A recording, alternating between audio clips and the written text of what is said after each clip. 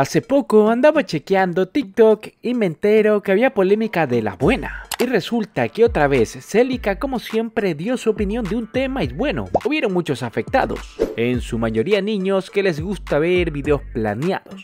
Y es que eso de creerse rey de un arma o sentirse el mejor de todos por sacar clips en PvP planeados está superando todo tipo de ridiculez que alguna vez yo haya visto en Free Fire. Ahora todo el mundo se cree rey de algo, y más aún a raíz de que el propio Free Fire haya incluido un top de armas por ubicación. Y bueno, al menos estos panas justifican ser tops de algún arma ya que para estar en esta lista debe ser porque juegas mucho o porque de verdad eres bueno con dicha arma pero el andar creyéndose rey de un arma por subir videos de PvP planeados sí me parece bastante bochornoso. En fin, debido a ese chiste es que se me ocurrió la idea de recordar unas cuantas modas ridículas que en sus tiempos existieron en Free Fire. Desempolvar ciertos videos y tutoriales que la gente hacía hace años atrás. Así que ya lo sabes mi hermano, ponte cómodo, deja ese bello like que siempre ayuda y bueno, vamos con el video porque te va a gustar.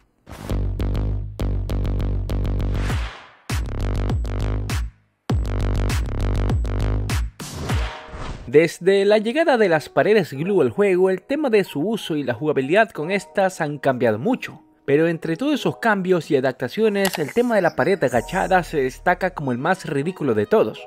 Al inicio era una temática que según muchos te hacía ver pro, y al ser usada por muchos creadores de contenido y por ende muchos en la comunidad, se volvió una moda que hasta el día de hoy se mantiene vigente. Una moda visual más que un tip o consejo para mejorar la jugabilidad, ya que el poner una pared agachada no da ventaja ni tampoco ayuda dentro del juego. Al contrario, te resta tiempo de reacción y además te vuelve propenso a ser tumbado de forma más rápida, ya que al agacharte y no poner la pared rápido, hace que le des ventaja a que el enemigo te dé todo rojo sin necesidad de alzar mira.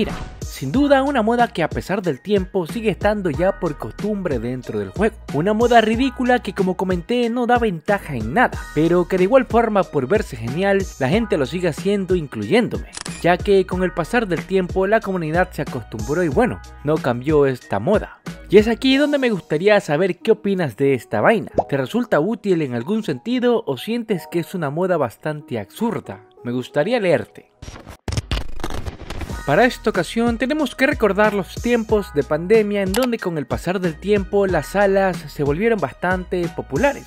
Y entre tantas cosas populares que hubieron en esos tiempos y hasta la actualidad también, nos encontramos con los famosos PvP. Pero esta vez solo me enfocaré en el PvP por moda más ridículo de todos. El famoso PvP a un tiro o one ball como le dicen por ahí. El cual constaba en que ambos jugadores debían jugar solo con Deezer la primera ronda y por supuesto escopetas el resto de la partida.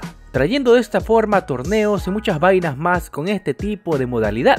La moda se volvió tan ridícula que la comunidad en partidas normales de clasificatoria duelo de escuadras se enojaba cuando un enemigo dejaba pisada la escopeta. Y es que mucha gente quería que hasta las partidas sean una bala. Eso incluso los hacía sentir superiores a quienes no jugaban de esa manera. Y lo peor de todo es que esta moda duró demasiado tiempo. Es más, aún sigue vigente. En cualquier partida encontrarás a alguien que se cree pro tratando de jugarte a una bala ya sea con armas de larga o de cortas distancias como escopeta. Incluso con la llegada del lobo solitario y la falta de salas, la gente empezó a usar este modo de juego como propio para jugar a una bala, imagínense. Es más, si te metes a jugar de ley encontrarás a alguien comprando escopeta para jugar jugarte de esta forma.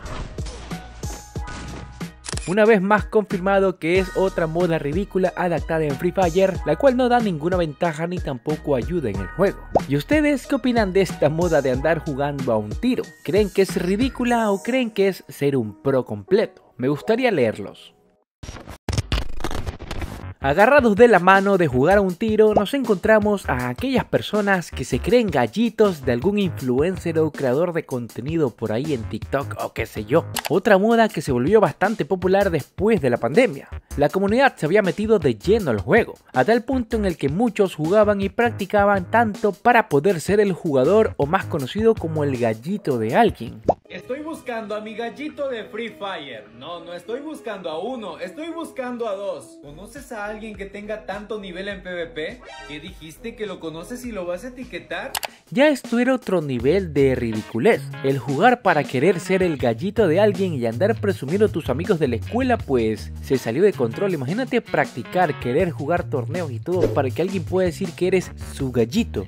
Tanto así que hasta creadores de contenido hacían dinámicas, retos y algunas vainas más para que sus seguidores pretendan llegar a ser su, su gallito, se podría decir. Cosa que no servía de nada, la verdad. Al menos que el siendo gallito de alguien, te hagas un buen jugador con demasiado nivel y este te lleve a torneos para que ganes buenos premios económicamente hablando. Porque de ahí el ser el gallito de alguien me parece algo bastante ridículo, la verdad. Esto incluso me recuerda a esos influencers que querían tener hijos en el juego. Una moda que por suerte no llegó lejos, porque esa vaina sí era peor que lo que estamos viendo ahora. El ser hijo, el tratar de ser hijo de algún influencer por ahí.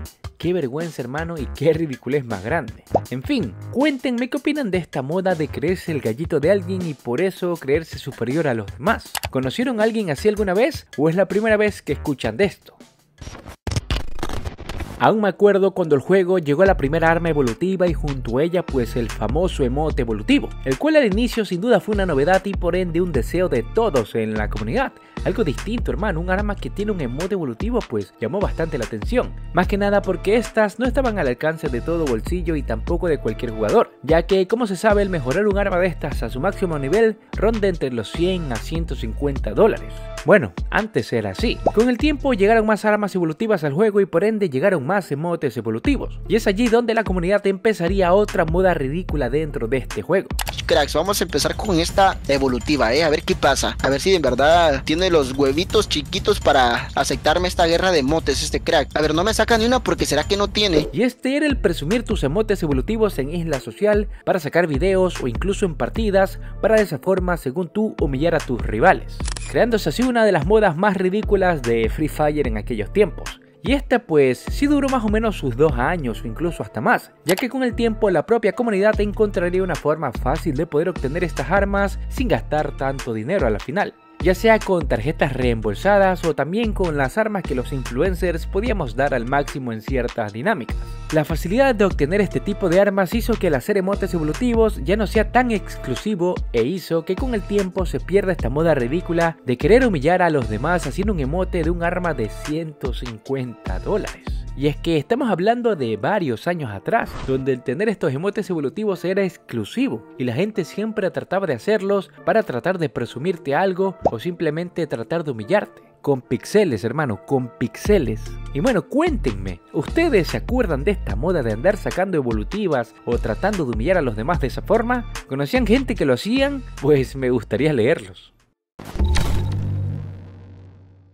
Y bueno gente, estas han sido hasta ahora cuatro modas ridículas las cuales han sido traídas por la comunidad a Free Fire y que obviamente con el tiempo han sido olvidadas y en otros casos hasta mejoradas. Ya saben que si el video les gustó pueden dejar ese bello like que siempre me ayuda y suscribirse a este canal en caso de que sean nuevos por aquí. Ya saben que pueden compartir este video con algún amigo que le pueda interesar el tema y si tienen en mente otras modas ridículas y desean que salgan en un próximo video, pues encantado de la vida los estaré leyendo en los comentarios. Un placer haberles traído el contenido del día de hoy, así que por mi parte pues no se diga más y nos vemos en un próximo video. Adiós.